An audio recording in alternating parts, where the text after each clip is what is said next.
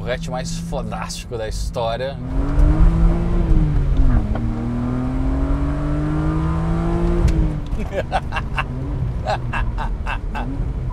Caralho, que carro gostoso, mano! Senhores, vamos falar de delícias automotivas. Vamos falar dessa vez nesse vídeo do hatchback mais foda da história automotiva até os dias de hoje. Eu tô falando sério. Tô falando da BMW Série 1, a primeira no chassi E8X, teve várias versões desse carro, teve hatchback, teve coupé, teve conversível, teve... esqueci. Mas teve, e a gente vai pegar aqui o modelo hatchback, que é o hatchback mais foda da história. Isso daqui não tinha nada a ver com todos os outros hot hatches que eram vendidos na Europa. Isso daqui era outro mundo, outro nível, o verdadeiro pedigree da BMW Motorsport carimbado num hatchback. É isso que a gente vai falar nesse vídeo. Mas antes de começar esse vídeo, considere agora se inscrever no canal e ativar as notificações, porque nesse vídeo eu vou passar também para vocês informações úteis sobre a manutenção desse carro. O carro é foda, mas a manutenção também é foda, certo? Hoje a gente vai falar um pouquinho desse vídeo, vou mostrar, esse aqui é o carro do Arthur, certo? A gente vai mostrar isso aqui. E também esse foi o carro que me fez entrar no mundo da BMW. Ou mais ou menos isso. Vou contar essa história também nesse vídeo rapidamente agora no início. E não esquece de deixar a curtida para ajudar a gente a continuar postando os vídeos. E vem com a gente.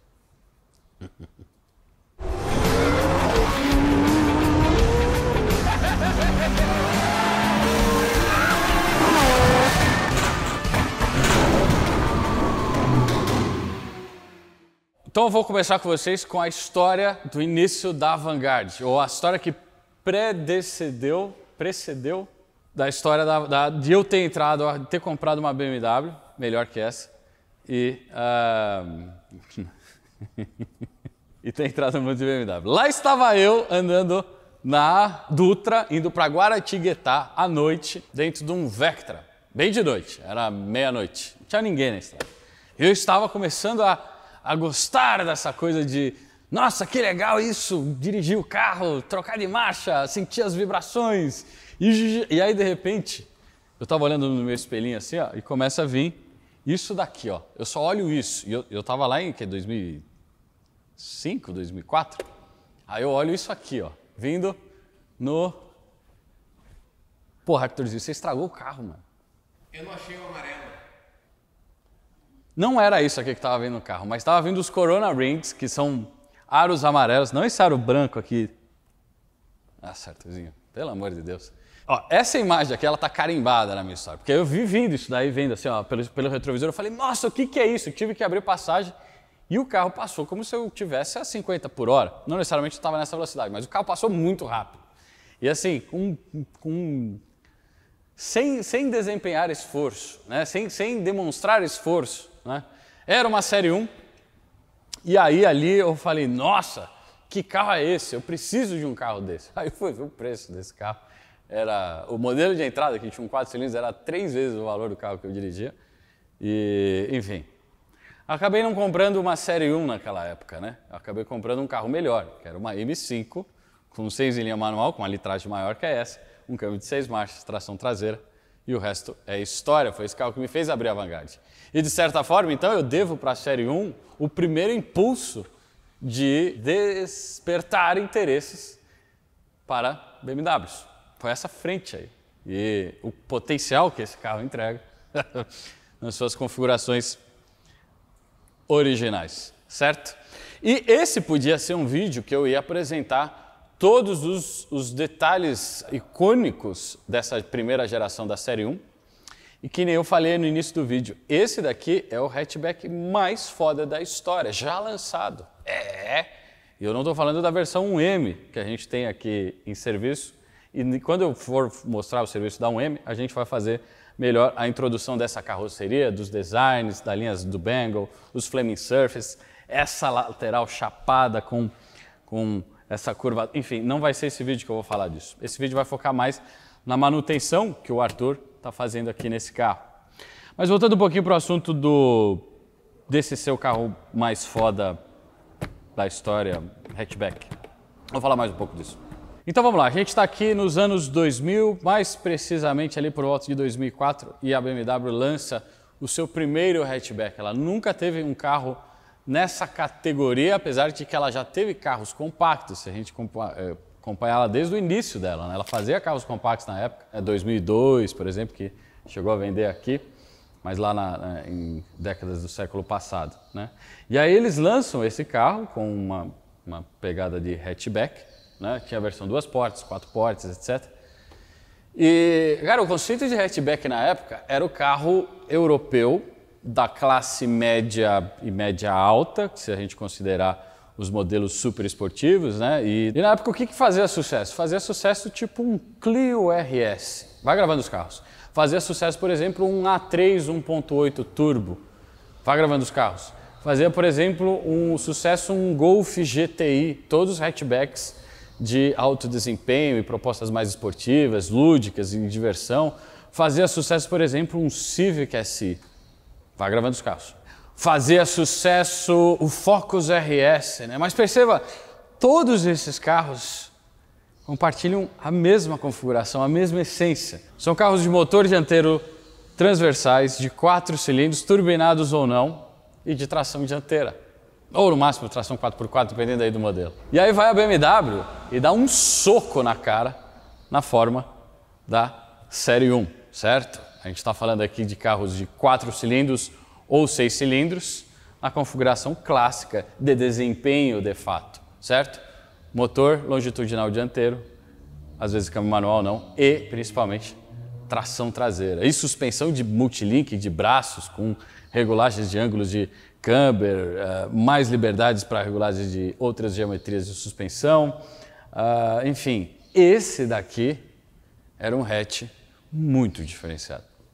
E bom, e voltando para aquela história de, de, eu ter quase comprado uma Série 1 e ter optado por uma M5 mais velha que custava a metade do preço, um terço do preço, né? mas eu lembro depois que eu comprei a M5, o argumento era não, você vai comprar um carro velho, uma M5, que anda muito mais que isso aqui. Mas é, não, mas ele tem manutenção acumulada, né? Compra um carro mais novo. Não, mas o carro mais novo a 130, que tinha um 6 em linha com câmbio manual, e essa traseira maravilhosa aqui, dá uma olhada nesse para-choque com esse insert aqui. Nossa, que coisa linda isso aqui. Até hoje essa traseira é bonita, né? É, então assim, ah, compra o carro novo que não dá problema ou compra o carro velho melhor que pode dar alguns problemas, né?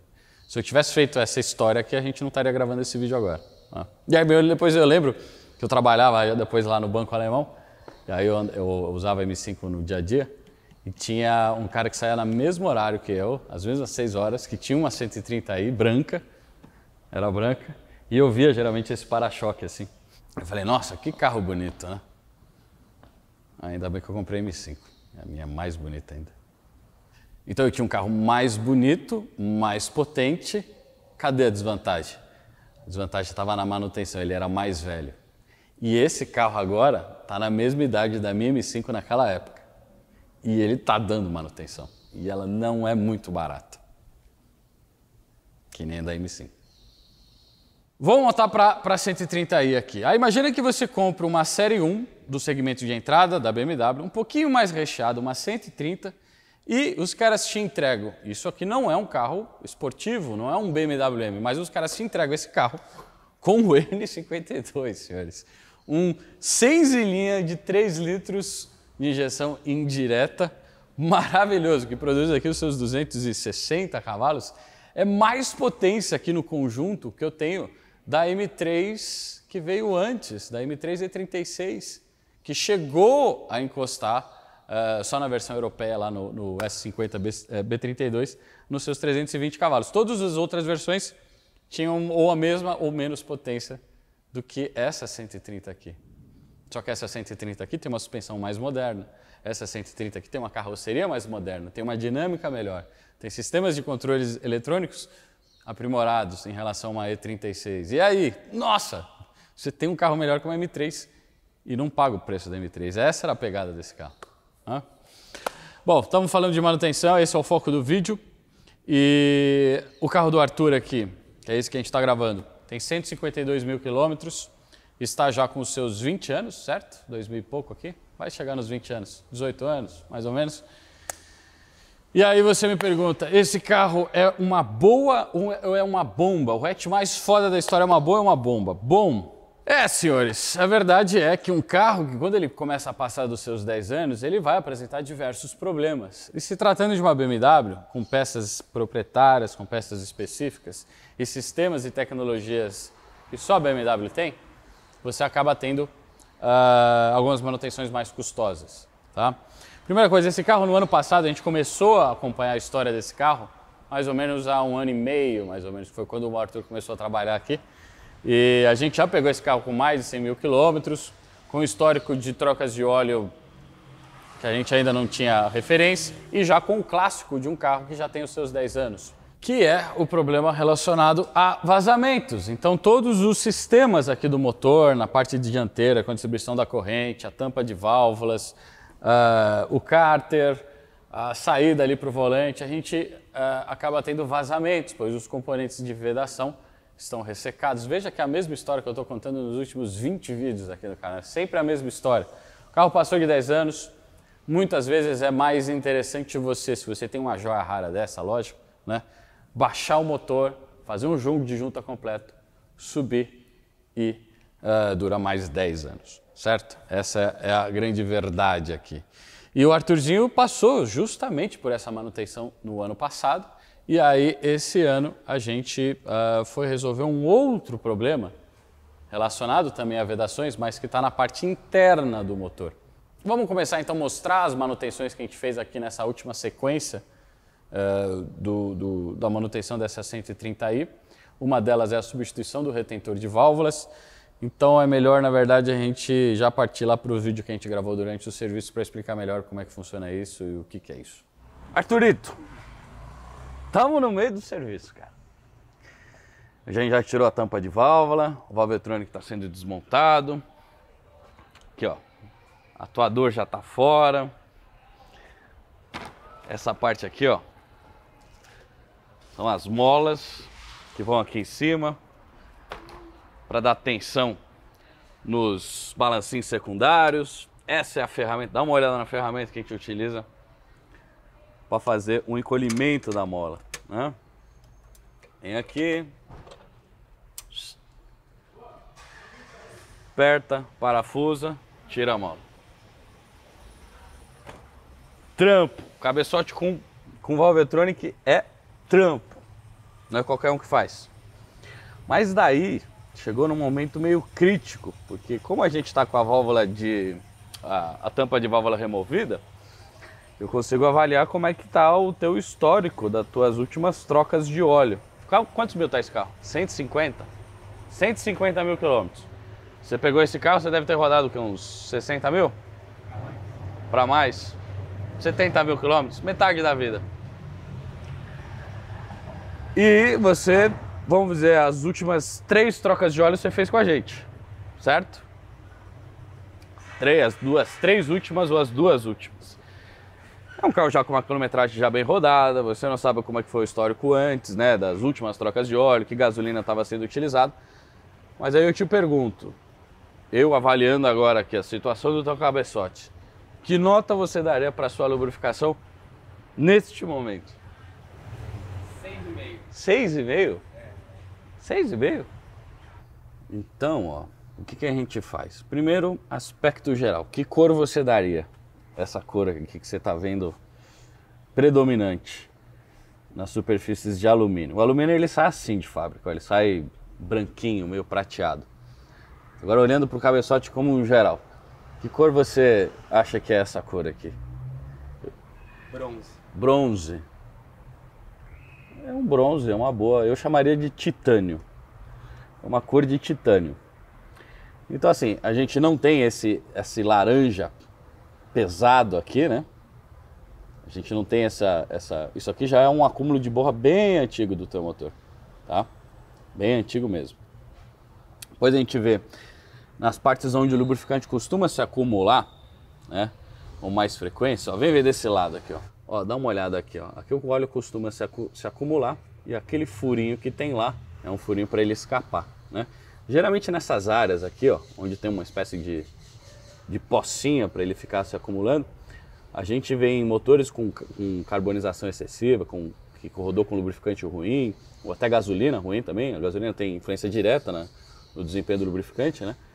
Uh, aqui costuma estar tá cheio de borra, assim, ó, tem um, uma laminha acumulada aqui. Ó. E o teu, ó, não tem nada, né? Eu não posso dizer nem que tem envernizamento aqui na superfície. E isso é resultado direto do pacote de aditivos do lubrificante que você vem botando aí, na ação de remover essa oxidação, né, ou a borra, né, que vai acumulando nas paredes aqui, né. Tem casos que a gente pega de borra que a borra é tão grande que ela vem e entope essa passagem, né. E aí começa a acumular o óleo, o óleo começa a escorrer aqui por cima, né. E esses são casos que a gente às vezes pega aqui, ó. Outros pontos aqui, ó, perto do vânios, na tampa da corrente frontal, também costuma acumular, acumular bastante óleo, né? E esse óleo, conforme ele vai oxidando, ele vai formando essa borra. E dá uma olhada no teu cabeçote, o que, que você acha? Parece nada mal. Nada mal? É, não tem nada ali, ó. Não tem basicamente nada. Né? Vamos ver se eu consigo pegar ó, um resquício de borra antigo, né? partes que o lubrificante tem menos contato. Ó. Aqui a gente tem um pouquinho dela, ó. tá vendo? Ó, vou tirar um pouco dela aqui, ó. Aqui é mais um, um, um, o lubrificante ele não chega aqui, né? As linhas de lubrificação estão passando aqui no meio do comando, tal. Ele não chega aqui. Aqui é mais uma, uma condensação dos vapores, né? Que estão aqui dentro da tampa. Né? Isso aqui está fechado. Imagina como se fosse uma panela de pressão. O vapor ele encosta aqui quando você desliga o carro e ele condensa aqui, né? E aí, como a gente não tem o lubrificante vindo com os pacotes de aditivo, com temperatura, toda essa parte acaba não sendo limpa, que Uh, a gente não tem que nem a gente tem nessas outras áreas aqui um fluxo constante do lubrificante. Né? Então você deu 6,5 para nota da sua lubrificação aqui. Estou dando uma olhada nos desgastes do comando agora, os cames. Cara, eu dou nota 8 para sua lubrificação. E isso considerando que só, você só fez as últimas três trocas com a gente. Né? Então, Passou de ano, Arthurzinho. Parabéns. Nada mal. Tá. Por que, que você deu 6,5?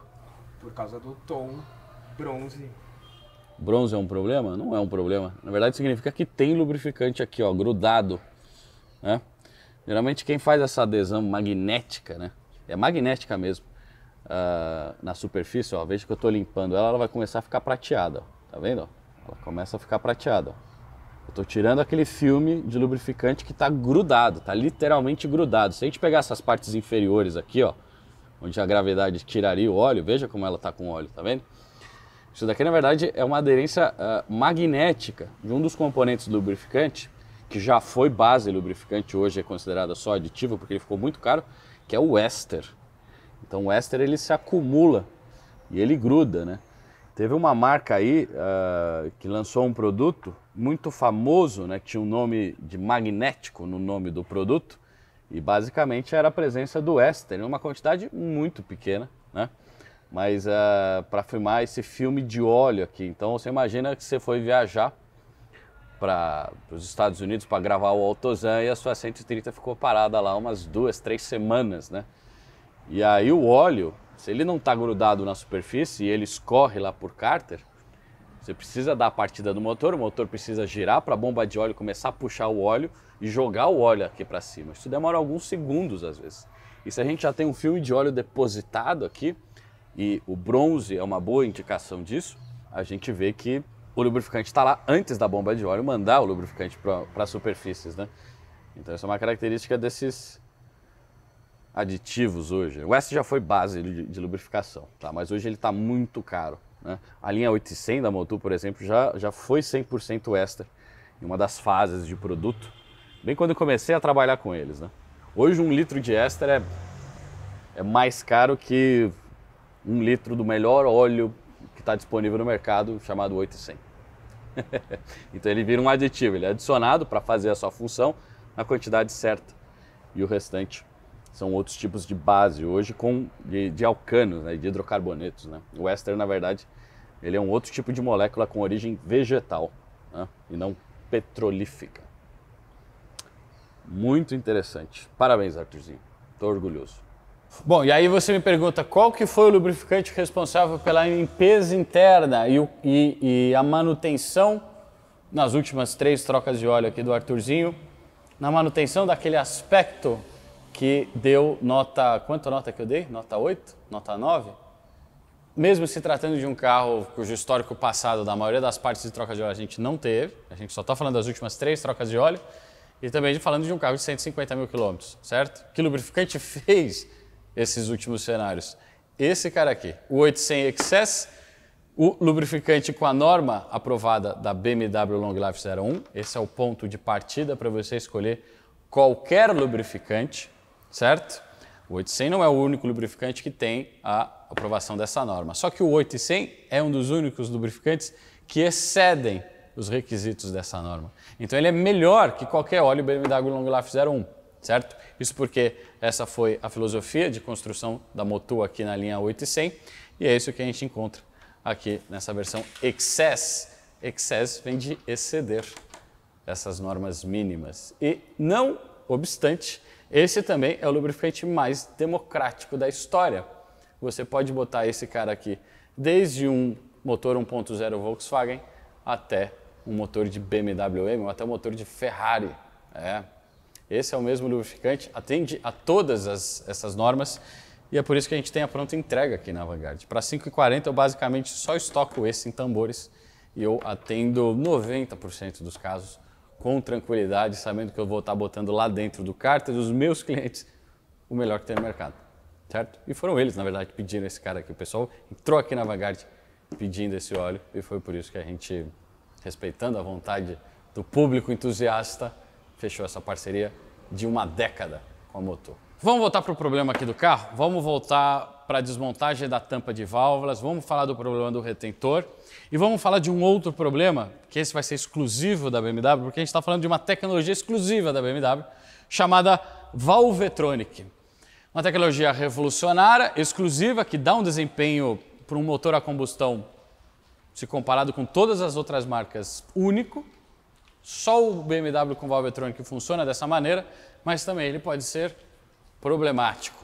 E quando a gente fala de problemas de BMW, a gente tem junto da equação a palavra, geralmente, caro. Arthurito, por que, que a gente está aqui mesmo? Tá sumindo óleo, Tá sumindo óleo? mas não vaza. Não vaza. Então tá queimando óleo. BMW, 90% de chance de ser o retentor de válvula ressecado, que ele está enterrado aqui, ó. Embaixo lá, dentro daquela mola, lá dentro do balancinho, ó, dá para ver por aqui, ó.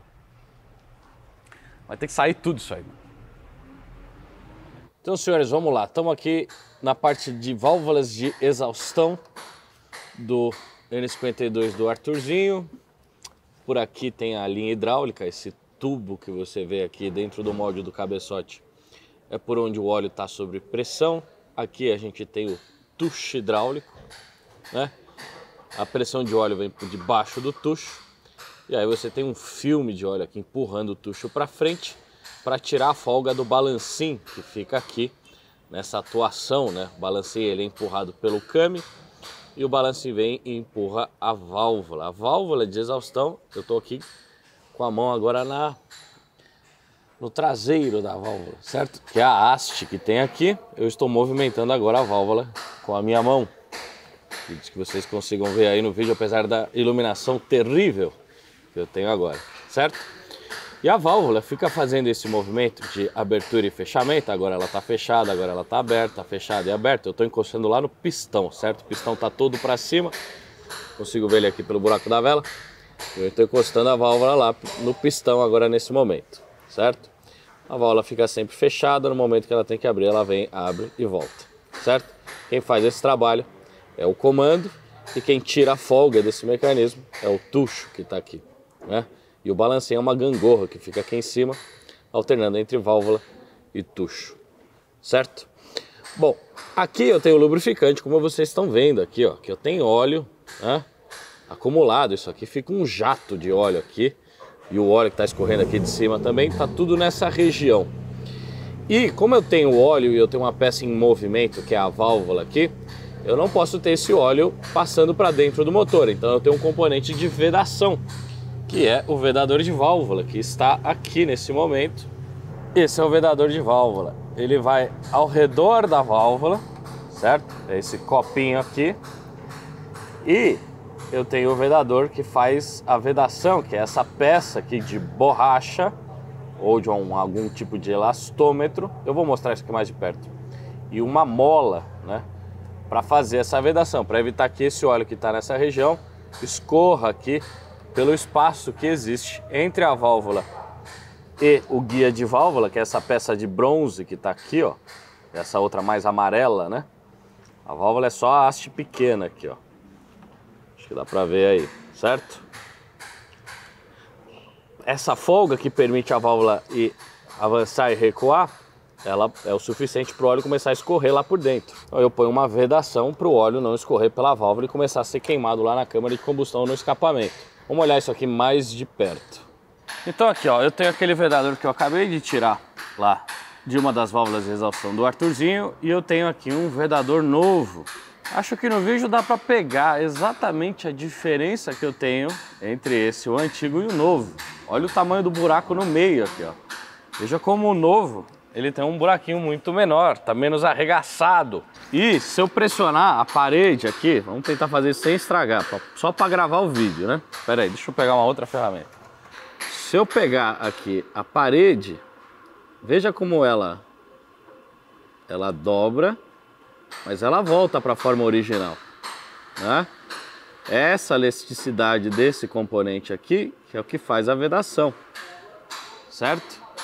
Essa daqui, ó, tá dura e ela não vai voltar para a forma original. Então, perdeu-se elasticidade, se perdeu elasticidade, perdeu função. O que, que acontece? O óleo começa a escorrer entre a folga que existe aqui da haste da válvula, essa folguinha que existe aqui, é o suficiente para o óleo escorrer, ser queimado na câmara de combustão no escapamento e você começar a ter a consumo de óleo. Isso aqui é muito clássico de BMW. É exclusivo de BMW? Não. Outras marcas também têm um mecanismo de vedação muito parecido com esse e algumas também têm defeitos crônicos nessa área conforme o passar do tempo. Isso aqui é um item de manutenção de longo prazo, ok? Uh, é trabalhoso, requer ferramenta especial. Eu tenho um sistema de Valvetronic. Esse aqui, por exemplo, é o eixo intermediário lá, que faz o sistema de Valvetronic que eu expliquei em uns três vídeos aqui no canal, pelo menos, como é que funciona o Valvetronic, né? Aqui a gente tem o eixo maior, que é o eixo dos seis cilindros, né? Então, é um eixo super longo, ele está propenso a emperamento, quanto mais longo, mais uh, frágil fica a peça.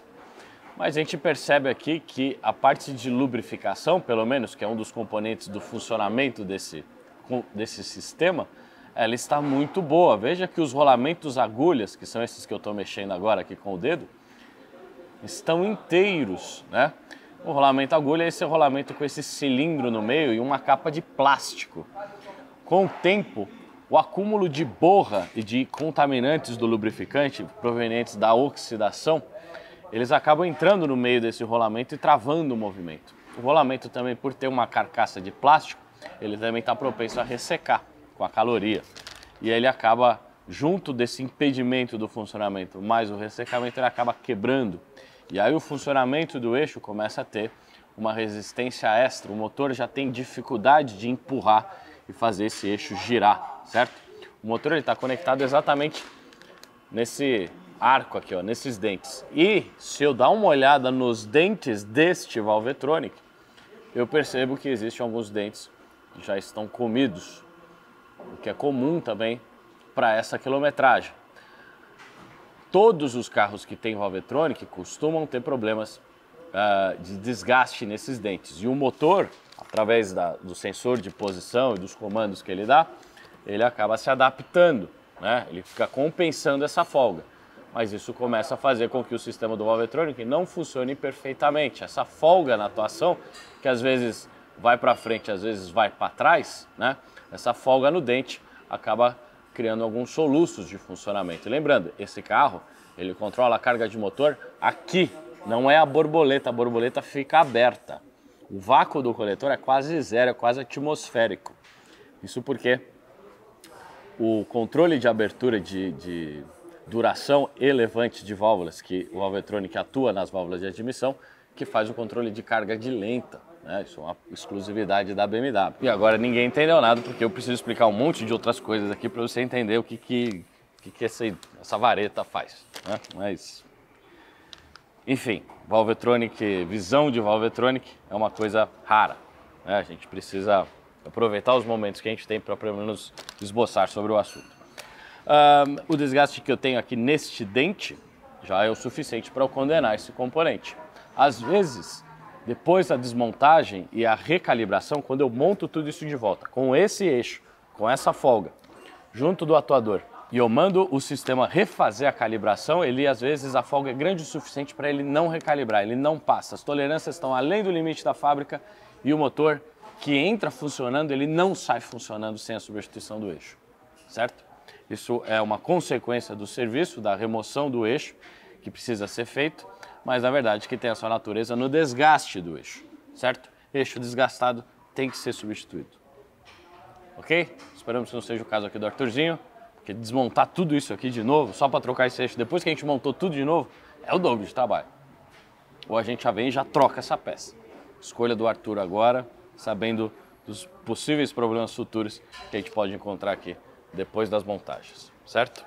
Arthurzinho, vou falar de outros problemas, esse exclusivo de câmbio manual, que é o seu grande diferencial aqui nesse carro. O mecanismo do trambulador é um mecanismo que tem uma articulação, tem movimento, logo a gente vai ter componentes de união e de articulação, tipo a patela do joelho. Pera aí. Tipo isso aqui, ó. Isso aqui são as buchas que segura o mecanismo lá do tramburador.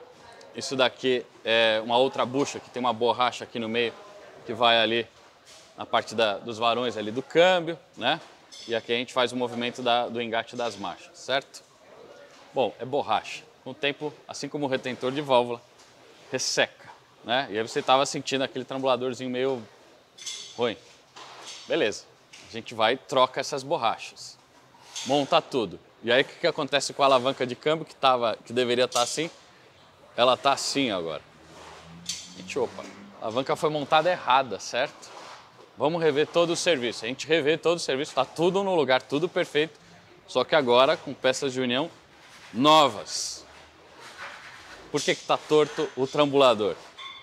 Aqui, ó, percebe que motor e transmissão estão basicamente movendo toda hora que eu faço uma força aqui. Ó. Isso aqui é o ponto de fixação do conjunto motor e transmissão na carroceria, é o coxim do motor, certo? E aqui a gente tem um outro componente de borracha, que arriou. Então a borracha, ela, de novo, perde elasticidade. Olha, a natureza dos problemas são as mesmas, sempre, né? Borracha ficou velha, ressecou, estourou o coxim, o coxim que era para estar tá suspenso, assim, ó, fixação do motor da carroceria era para ter borracha dentro. A borracha, ela cedeu e agora eu tenho o conjunto torto e eu tenho metal com metal batendo aqui, ó. Lembrando que motor de BMW 6 em linha, ele nunca fica reto, que nem do Supra, ele é inclinado, ou seja, a gente tem um acúmulo de peso mais desse lado. Lembrando que eu tenho um coxinho aqui e um outro coxinho aqui. E a gente também tem o torque do motor. Então é muito comum o coxinho da direita de BMW quebrar, fazer isso. Isso que está causando com que o seu trambulador, em vez de estar assim, ele está assim. Por quê? Porque o motor, conjunto transmissão e motor, está apoiado, ele fica apoiado por um coxinho, um coxinho aqui, esse aqui cedeu e o negócio veio para cá. E essa aqui é a tua haste do trambulador. Nada bom. Nada bom? BMW velha. Bom, então vamos recapitular. O que, que a gente já fez já nesse carro aqui, além das trocas de óleo, além da troca do diferencial traseiro do Arthurzinho, que ele pediu para botar um blocante, que é uma coisa que falta na 130 de fato. Uh, além das, dos todos os vazamentos que a gente já resolveu, além da troca do retentor de válvulas, além da troca do eixo do Valvetronic, além da troca do coxinho do motor, que nós identificamos ali por causa que o trambulador ficou um pouquinho torto depois da montagem. Uh, a gente pode ter também aqui alguns problemas de vazamento na parte do arrefecimento, comuns de BMW, e também o sistema de ignição e, tratando-se do N52, o motor de partida pode dar problema também. Essa é basicamente o um pacote de problemas que a gente vai encontrar no N52. Veja que eu não falei, por exemplo, injetores. É, a BMW que dá problema no bico, bomba e bobina, o famoso BBB. Ah, eu fiz isso, Arthurzinho. Não era para fazer, né? o famoso bico, bomba e bobina, a gente não tem aqui problemas de bomba, porque isso aqui é injeção indireta. A gente não tem necessariamente problemas de bico, os N52 não dão problemas crônicos de bico, assim como os, os sucessores desse cara aqui, o N54, o N55, o N56, blá blá blá, todos os outros BMWs. E também dá problema de bobina. Mas aí até um, um carro nipônico, aquele inquebrável, durável, carro dos deuses, que nunca quebra, também dá problema de bobina. E aqui também pode dar problema de bobina, certo? Uh, no final, esse é o pacote de problemas que a gente pode esperar de um N52. O que a gente não falou aí é a parte de suspensão, que tem os componentes também de borracha que vão ressecar e vão bater. Caixa de direção não é tão problemática assim como nos outros modelos uh, mais recentes, né, de chassi F. Aqui a caixa de direção é, é, mais a questão de uso mesmo. Se o cara não corrige a suspensão, vai começar a bater caixa. E câmbio automático não é o caso aqui, a gente não tem, mas eu sugeriria você trocar o óleo do seu câmbio automático se você tivesse uma série 1 com câmbio automático, muito importante. No intervalo aí de, ah, mas a BMW fala para não trocar o óleo da transmissão. Tá bom, a ZF fala para trocar e ela que é a fabricante do câmbio certo? Minha recomendação é seguindo a própria orientação da ZF a cada 5 anos, tá? Uh, ou 50 mil quilômetros, dependendo do seu perfil de uso, né? Perfil de uso mais de cidade, a gente reduz esse intervalo. Vou deixar um link para um vídeo de trocas de óleo de transmissão aqui para não entrar nessa polêmica aí, porque o vídeo tem uma hora e esse é o tamanho da polêmica que eu estou tentando abordar aqui. Mas de final, é isso. É isso é que a gente mostrou de série 1 de problemas crônicos, é isso poucos problemas crônicos, coisas normais para outros carros também. Tá, vamos, vamos botar esse carro na rua e terminar esse vídeo. Arturito! Estou dirigindo seu carro, Arturito. Só não vai, não vai fazer uma oferta no final. Ó, oh, ó que eu acabei de gravar aquele M3. E aqui, quantos cavalos a gente está fazendo aqui? 260? 265 declarados. 265 declarados e o que? Uns 30, 32 kg força? Sim. 320 Nm. tá chupada, né? Aham. Uhum. Tá. Ó, só essa primeira acelerada. Tô andando para ver como é que tá o trambulador, como é que ficou o serviço, tem que fazer esse teste. Mas só essa primeira tocada, você vê que assim, passou 10 anos, a série 1 a 130 anda mais que a M3, cara. Tô errado? Você que tá falando. Mas você tava. Faz 5 minutos que você tava sentado no banco de M3. Vamos ser mais político? Ah. Anda mais que a 850. Não. Já vai morrer. Deixa eu me achar aqui. Ah, ó! Caralho! O que, que é isso, Arthur?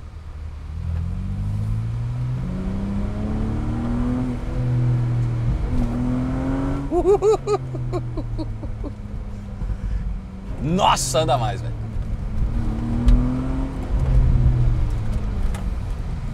É.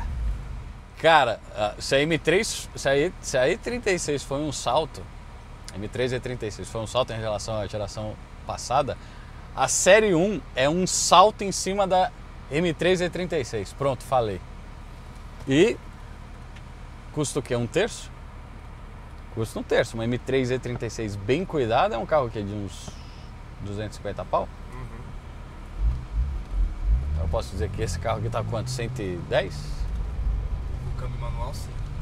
Com manual sim, 110. E é um carro melhor.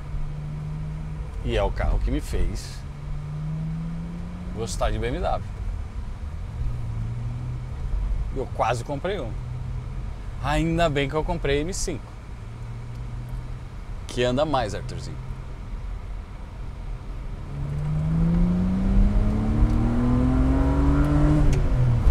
Mas essa aqui anda bem, cara. Se me permite uma sugestão, você tirar esses amortecedores aqui, pensar no investimento de um coilover. Se me permite a sugestão, Arthur.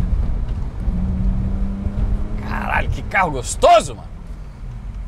Nossa senhora! Caralho, Arthur. Você sabe que esse carro ele me passa a impressão Caralho, quanto tá o corte, velho? Você botou o corte quanto? 7,5? Mas é original. É original? Aham. Caralho, mais que é da M5, hein, mano? M5 é 7,400. 100 faz diferença. O que, que você sentiu de diferença no trambulador? Não, tá bem mais justo. Bem mais justo, não? O engate tá- te dá mais confiança, na verdade. Você sabe onde a marcha vai entrar e onde não vai mais. É. Antes, talvez a terceira, ela, Você ela não- encontrava uma barreira antes Você não entrar. compensa a folga, Uhum. porque não tem folga.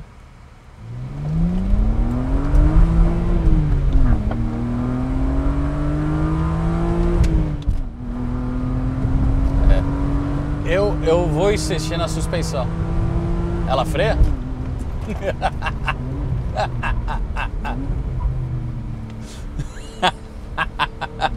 Como é o carro do Arthurzinho, eu posso dirigir de uma maneira um pouco mais enérgica, porque o dono tá aqui do lado.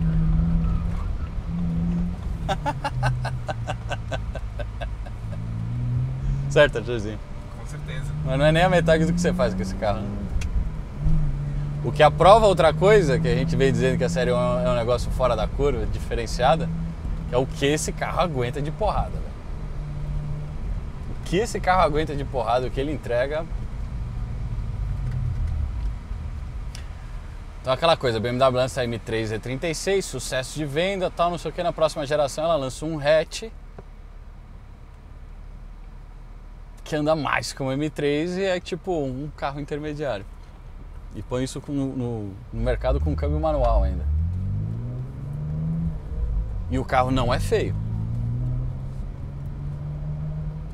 Mas eu não vou fazer ainda o vídeo de apresentação da geração E8X, E83, 72. né? A gente vai fazer isso quando a gente tiver aquela 1M que está em serviço. E aí a gente vai gravar o vídeo da introdução dessa categoria. Certo? Porque isso aqui não é uma M. Isso não é uma M. Isso aqui é apenas uma C, apenas o hatch mais fodástico da história de quando ele foi lançado. E não é uma M. Você disse que a carroceria E90 tem o melhor feeling de volante e posição de guiar.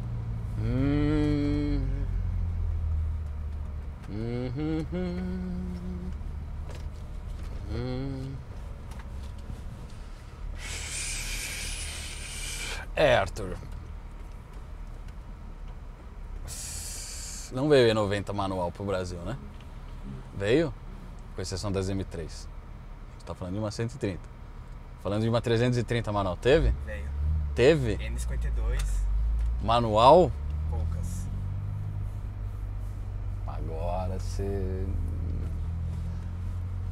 Tá aqui, você vê que assim, tipo, quase tudo é a mesma coisa. Muita coisa compartilhada aqui. E quer saber? Nunca tinha reparado nisso. Agora vem a pergunta: será que a X1 E84 também tem a mesma posição de dirigir perfeita? Acho que sim. Olha, adicionei uma pro meu, pro meu know-how agora.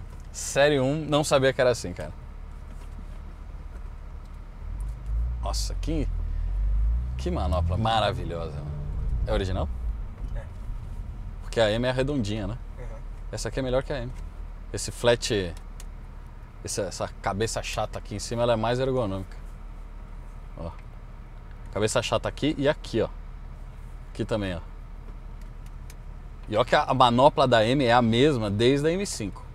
É a mesma. Nada mal, Arthurzinho. Bom, no final, vamos tomar uma conclusão aqui. BMW E8X 130, 135, 120 também.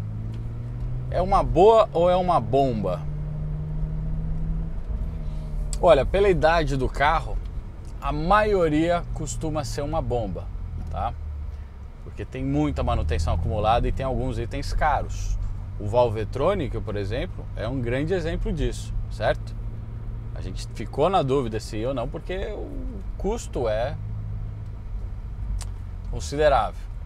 Mas ao mesmo tempo, esse carro nessa configuração clássica de BMW Motorsport, 6 em linha, câmbio manual, tração traseira, com essa acessibilidade, para mim esse daqui é o futuro Alfinha.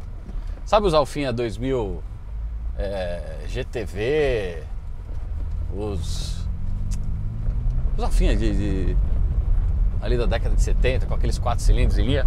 O que aquele carro representava naquela época, não estou falando dos GTA M, estou falando dos, dos, dos carros de, de, de, afegão comum, vai, vamos dizer assim. Esse carro, daqui a 30 anos, merece o investimento. Porque a gente está no final da época analógica aqui. A gente tem já um acelerador eletrônico, mas pedal de embreagem, freio, câmbio manual ainda são analógicos, né? O volante ainda não é já de direção elétrica. Uh, enfim, tem algumas coisas nesse pacote aqui que vale o investimento. A verdade é essa. Então, se você tem uma 130 manual, uma 135 manual, câmbio automatizado, se você pegou lá as DCTs ou, ou. Enfim, você tem uma joia rara na mão. Então, considere dar um tratamento digno de uma joia rara, fazendo a manutenção, como o Arthurzinho fez. Coxinha original, Valvetronic novo, os embuchamentos de borracha do trambulador, entre outras coisas que a gente mostrou aí no vídeo de problemas crônicos, certo? Nós temos aqui o hatch mais foda da história de quando ele foi lançado e ele ainda é muito foda. Essa é a verdade. Pronto, falei. Concordo. Você é suspeito para falar. Eu posso falar porque eu não tenho. Então é isso, senhores. Um vídeo um pouco mais bagunçado aí. A gente mostrou um pouco da manutenção, mostrando o dia a dia, mostrando os casos, como é que. É, como é que as coisas se comportam, né? Por exemplo, o diagnóstico do trambulador que depois, depois da montagem ficou torto. Como assim tá torto? É.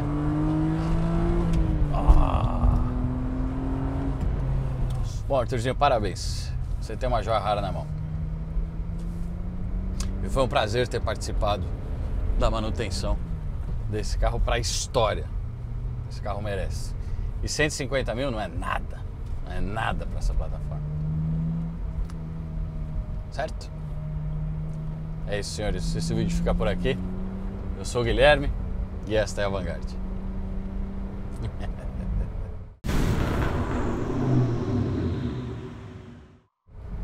Quanto tá custando mesmo isso aqui?